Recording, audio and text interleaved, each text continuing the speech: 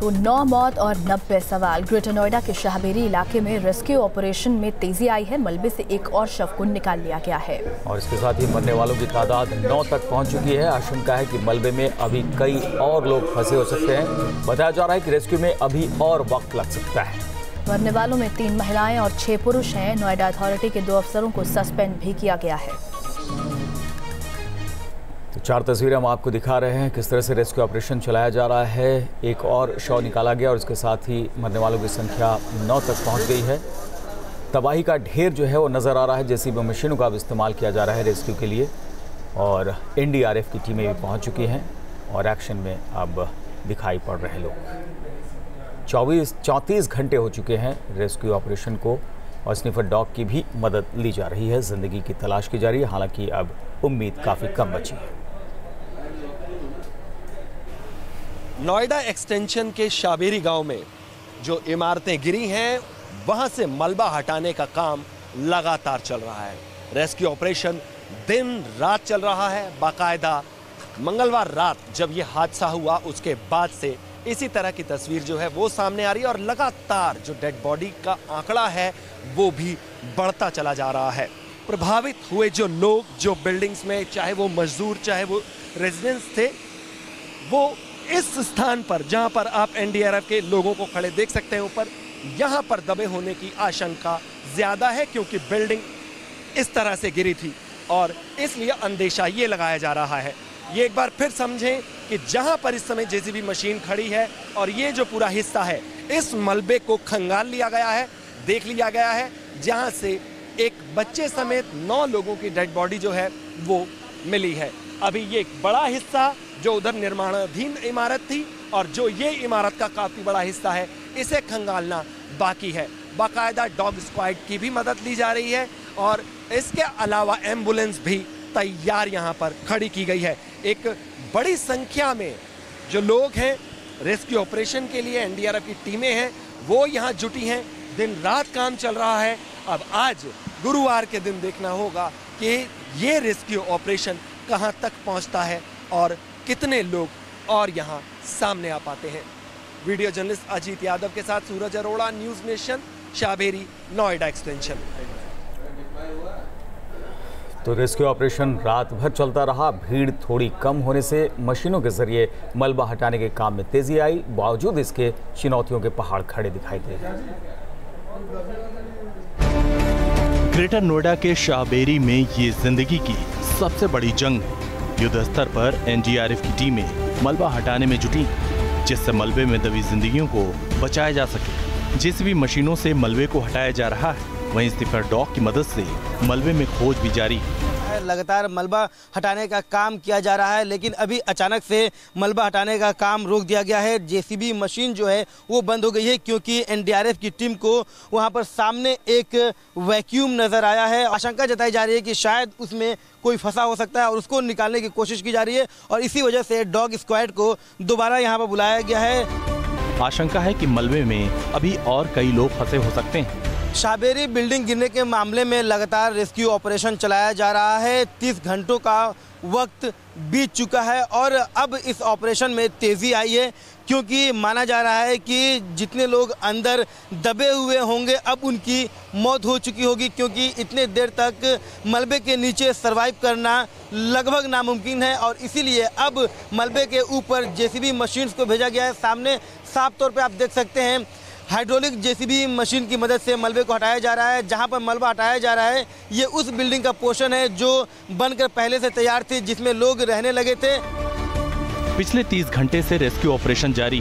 दिन में भीड़ होने की वजह से मशीनों को ग्राउंड ज़ीरो तक लाने में दिक्कतें हुई, लेकिन रात में ऑपरेशन में तेज़ी आई। वहीं अपनों के तलाश में कई परिवार ग्राउंड ज़ीरो पर टकटकी लगाए बैठे रहे। इसमें फैजाबाद के तीन युवक थे, जिसमें दो युवकों के शव तो निकाल लिए गए, तीसरा अभी भी लापता है।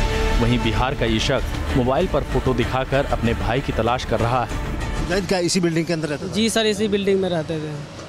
तो इसमें से चार लड़के रहते थे वे उसी के साथ में मतलब चार में से दो का बॉडी मिला है दो का नहीं मिला है। दोनों इमारतें एक साथ ताश के पत्तों की तरह ढह गई। मलबा चारों ओर फैल गया।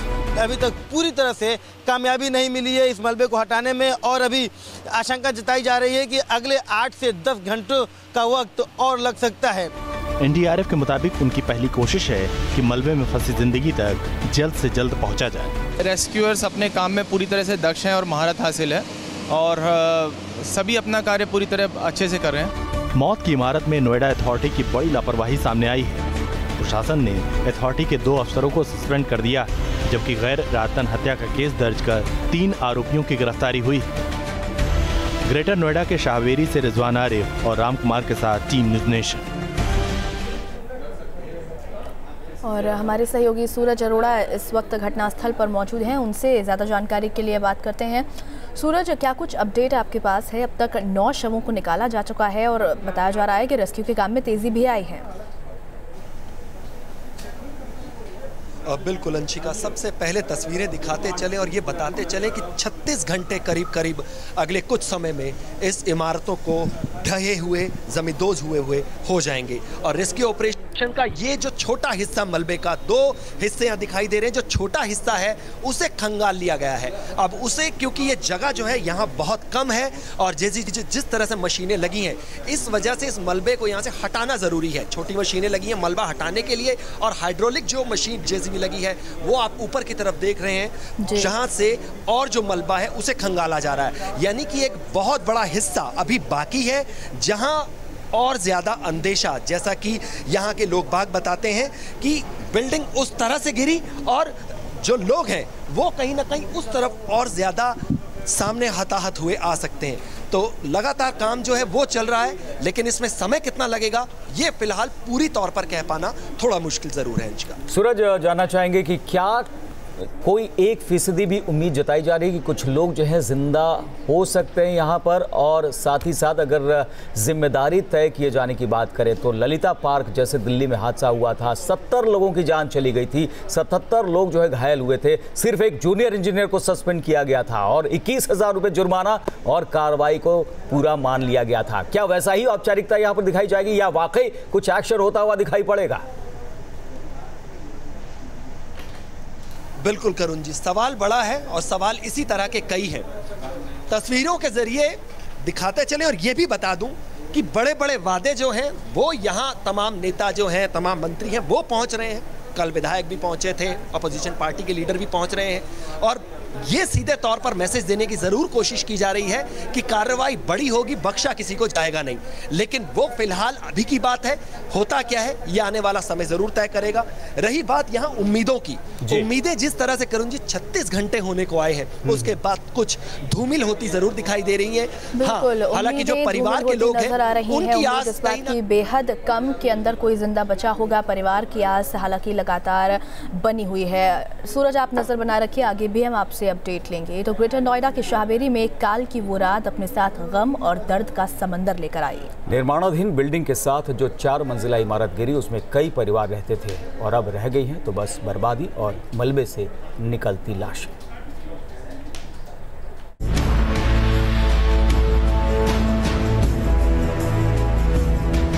ये मेरी परिवार की पहली बॉडी है।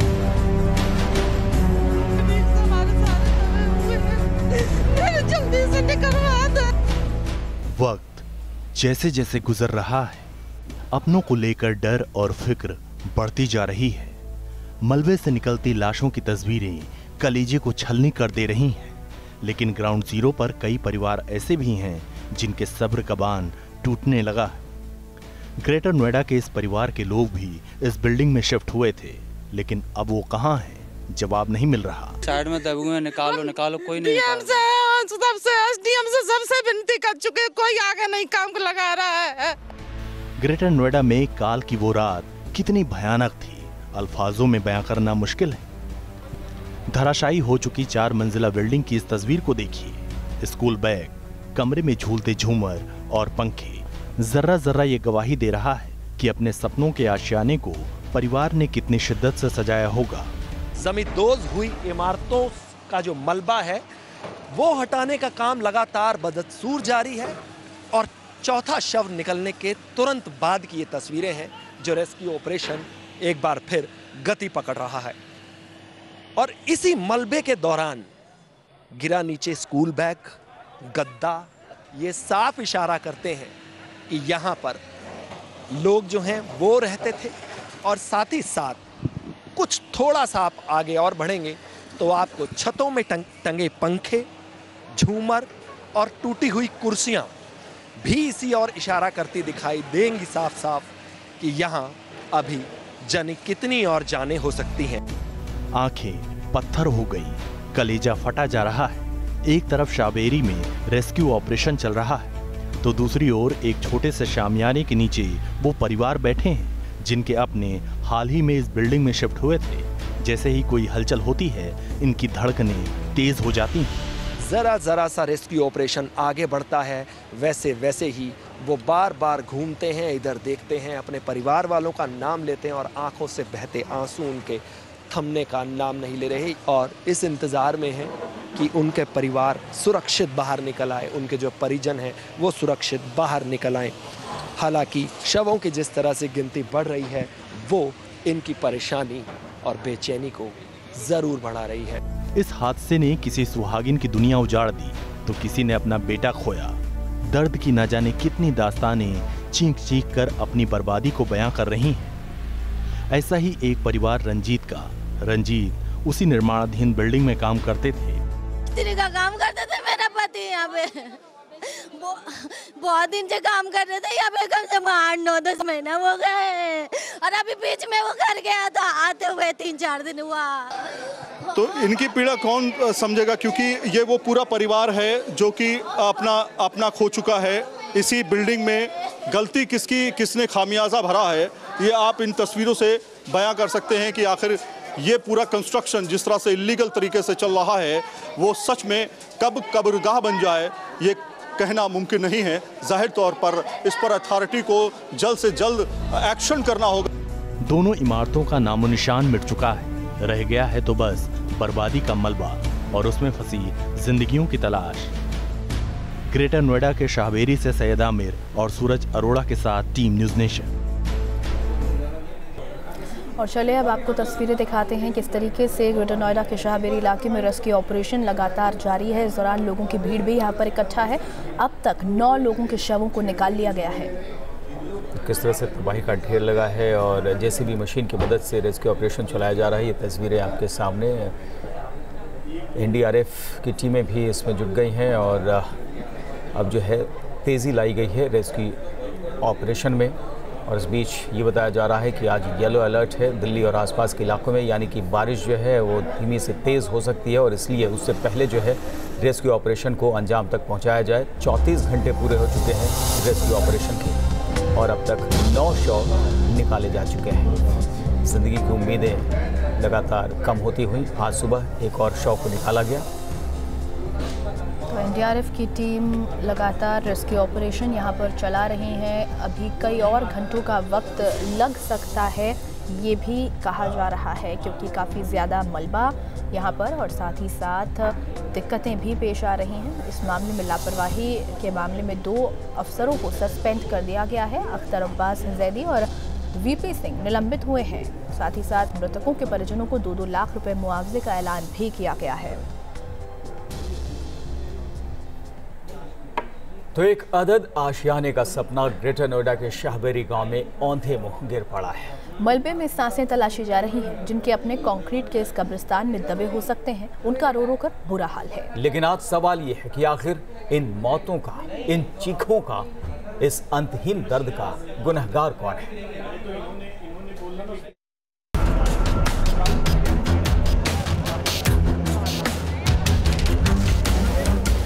उम्मीदों का आशियाना औंधे मुँह पड़ा है। कल तक जहाँ ज़िंदगी खुशियों के सपने बुन रही थी, वहाँ मौत का सन्नाटा पसरा है। जाने कितनी जिंदगियाँ जमीदोज हो चुकी इस इमारत में गुम हो गई हैं। आस की डोर थामे अब भी सांसों की तलाश जारी है। लेकिन हर गुजरते पल के साथ तेज हो रही है चीख, और इस दर्द के साथ गहरा रहा है सवाल। वो ये जो चार चार पाँच पाँच सात सात मंजिल के बना रहे हैं वो अनलीगल हैं। उनके पास अप्रूवल लेटर नहीं है। लेकिन यहाँ की ज़मीन जो रेतीली है और यहाँ पानी जो निकासी नहीं है तो पानी बिल्डिंगों में जा रहा नहीं। गाड़ी चेक कहाँ करने के लिए आता है पैसे लेने के लिए आता कब्रिस्तान बन चुकी कंक्रीट की इमारत कदम कदम पर मौत को दावत दे रही थी। हर पल यहाँ हादसे का साया गहरा हो रहा था। और सबसे बड़ा सवाल उठ रहा है कि आखिर अथॉरिटी की नाक के नीचे अवैध निर्माण कैसे हो रहा था? बताया जा रहा है कि इस इलाके में निर्माण कार्यों पर रोक लगी हुई थी। बावजूद इसके, आरोप है कि कुछ बिल्डर किसानों की ज़मीन लेकर सस्ते घर के फेर में लोगों को फंसा रहे थे। बताया जा रहा है कि ग्रेटर नोएडा के शाहबेरी, हैबतपुर, एमनाबाद बिसरंग और पतवाड़ी जैसे कई गाँव में अवैध निर्माण किए जा रहे हैं। खबरों की माने तो 2009-10 में सुप्रीम कोर्ट के फैसले के बाद शाहबेरी गाँव की ज़मीन का अधिग्रहण रद्द हो गया। लेकिन किसानों ने बाद में प्रॉपर्टी डीलरों को महँगी दर पर ज़मीन बेच दी। और उसके बाद से ही यहाँ कथित अवैध निर्माण की झड़ी लगी हुई है। इलीगल कंस्ट्रक्शन की बानगी ये है कि ये बिल्डिंग धराशायी हो चुकी है, लेकिन अभी भी कई ऐसी कंस्ट्रक्शन बिल्डिंग हैं जो कि लगातार बन रही हैं। यहाँ के स्थानीय निवासियों का कहना है कि बड़े आराम से धड़ल्ले से रजिस्ट्री चल रही है। हमारी शिकायतें ये हैं कि जो बिल्डर बिल्डिंग बनाते हैं, कम से कम उसका बेस मज़बूत रखें बिल्डिंग उतनी ही लिमिट तक बनाए जहाँ तक सेफ़ हो। उसके बाद अगर ये अनऑथराइज है तो कम से कम हमारे अथॉरिटी वालों को पता है कि सेफ़ ये हमारा अनऑथराइज है तो रजिस्ट्री ना करें। बैंक लोन भी कर रहा है। हम अपनी कमाई से घर खरीदते हैं और फिर वो बिल्डिंग ऐसे कब्रगाह बन जाती है हमारी। आज जो बिल्डिंग जमींदोज हो चुकी है, उनके कंस्ट्रक्शन में इस्तेमाल किए गए मटेरियल को लेकर भी सवालों का अंबार खड़ा है। कहा जा रहा है कि बिल्डिंग की कंस्ट्रक्शन इतनी कमज़ोर थी कि वो दबाव सह नहीं सकी और चंद मिनटों में एक के बाद एक दो बिल्डिंग धराशायी हो गई। यहाँ पर जो तमाम जानकार हैं कंस्ट्रक्शन से जुड़े हुए, वो भी इस तरीके के सवाल उठा रहे हैं कि ये जो क्वालिटी है, ये दरअसल में कंस्ट्रक्शन की बेहतर क्वालिटी इसको आप नहीं कह सकते हैं, जहाँ पर जो रेत है, वो इस तरीके से झड़ रहा है। देखिए, आप हाथ में आ सकता है और आप ज़रा सा भी ज़ोर लगाते हैं तो जो पूरा रेत है, वो टूट कर सामने आ रहा है और उसी की वजह से ये इस तरीके का हादसा हुआ है, जिसके निर्माण को लेकर बड़े सवाल खड़े हुए हैं। मौत की ये इमारत बनती रही, लेकिन किसी ने ध्यान नहीं दिया। बड़ी बात यह है कि मार्च 2018 में सीएम पोर्टल पर श्रावेरी में अवैध निर्माण को लेकर शिकायत की गई थी, लेकिन फिर यह हादसा हो गया और कार्रवाई नहीं हुई। सैयद आमिर हुसैन के साथ Anurag Dixit, news nation, greater Noida.